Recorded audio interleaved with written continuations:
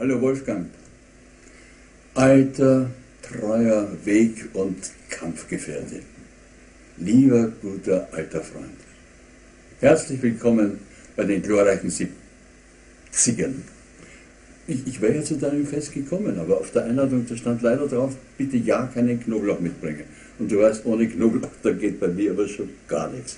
Aber Gott sei Dank bei dir auch. Also uns beide findet man jederzeit auch im Finstern. Weil ich sage uns beide. Ich habe hier in meinem Schreibtisch gekramt und, und habe da ein seltenes Foto gefunden. Naja, so oft sind wir nicht zusammen fotografiert worden. Das ist in einem Fernsehstudio oder in einem Filmstudio. Musst du dir anschauen. Also wir sind beide gut drauf. Du lachst wie ein Hutschpferd. Aber Wolfgang,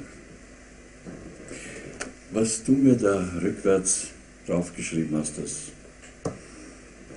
ich muss es vorlesen. Hoffentlich finde ich jetzt den richtigen Rademannschen Ton.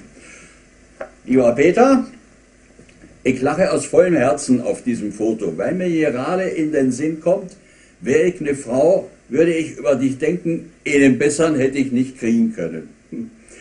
Als Partner, Freund, Mensch und Profi. Und das schon seit Mitte der 60er Jahre. Bin ich ja Gott sei Dank keine Frau und denke aber auch so über dich.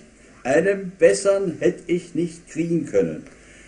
Danke dem Glück, mit dir die schönsten Jahre meines Lebens verbracht zu haben. Dein alter Wolfgang. Also alter ist ein bisschen übertrieben. Das tut gut. Ja, uns, uns beide verbindet sehr viel.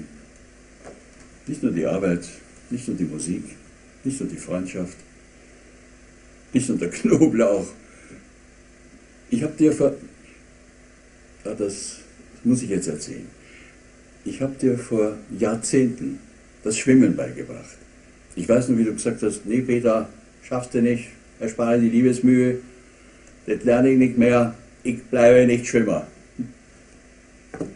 Nach ein, zwei Tagen konntest du schwimmen. Und heute ha, schwimmst du kilometerweit in, in, in allen Weltmeeren. Und durch dich kommt diese Welt noch einmal zu mir. Da lerne ich sie noch einmal kennen, obwohl es dort gar nicht war, wo du überall warst. Aber durch deine Filme und durch deine Erzählungen, wenn du mich mal besuchst, dann kommt diese Welt auf wunderbare und höchst intelligente Art und Weise auch zu mir. Hm. Aber jetzt, lieber Wolfgang, möchte ich deine Popularität ein bisschen in eigener Sache ausnutzen. Meine Damen und Herren, mein liebes Publikum, bitte glauben Sie nicht jeden Quatsch und jeden Schwachsinn, den es hier und da über mich zu lesen gibt. Danke. So, das war's schon. Wolfgang, tut mir leid, aber das musste sein. Wann komme ich schon mal ins Fernsehen? Ich wünsche dir alles Gute. Bleib gesund, bleib so, wie du bist. Und noch eine gute Nachricht. Frau Eva hat schon jede Menge Knoblauch gekauft. Der kann nur für uns beide sein. Also schau wieder mal vorbei. Und noch jemand gratuliert dir, aber von höherer Warte. Du weißt schon. Servus Wolfgang.